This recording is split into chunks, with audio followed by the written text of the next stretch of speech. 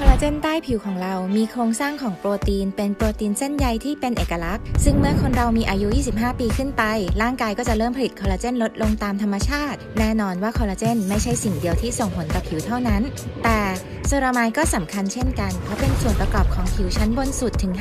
50%และช่วยกักเก็บความชุ่มชื้นให้กับผิว และยิ่งพอคนเราอายุ 30 ปีขึ้นไป เซรามายก็ยิ่งลดลงอย่างเห็นได้ชัด และลดลงไปเรื่อยๆ ตามอายุ แต่ไม่ต้องกังวลไปวันนี้ เรามีคอลลาเจนพลัสผลิตภัณฑ์ที่มีการศึกษาทางคลินิกรองรับ ว่ามีประสิทธิภาพในผู้ใช้จริง ให้คุณได้เปล่งประกายจากภายในสู่ภายนอก ต้องการการพิสูจน์เหรอ มันอยู่ในพลัสแล้ว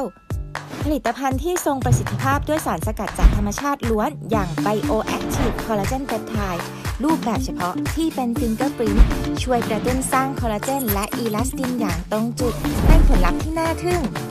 plus ไปอีกขั้นด้วยความแตกต่างจากคอลลาเจนทั่วไป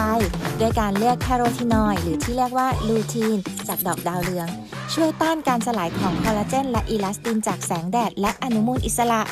plus สารสกัดจากข้าวสาลีจนได้เป็นไฟโตเซรามายซึ่งเปรียบเสมือนเกาะปราการผิว ช่วยเติมความชุ่มชื้นให้แลดูอิ่มน้ำเป็นการวิจัยที่เยอะมาก ๆ ก็เพื่อจะบอกว่าคอลลาเจนพลัสตัวนี้ ผ่านการศึกษาทางคลินิก และเป็นคอลลาเจนรูปแบบหนึ่งเดียว สูตรเดียวครบทั้งสร้าง ต้าน เติม